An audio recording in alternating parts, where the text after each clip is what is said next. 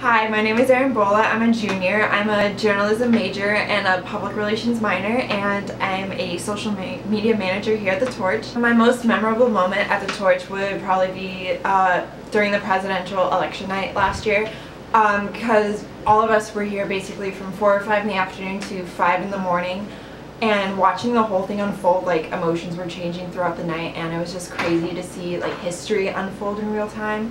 And I remember like all like 15, 20 of us were like crowded around the couches, like watching the TV and just like seeing everyone's emotional reactions.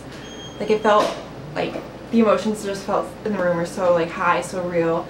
And that was probably the first time that it like struck me like we are as a news organization like trying to write a story as it unfolds and like while still dealing with our like emotional reactions to it at the same time but still trying to produce an unbiased product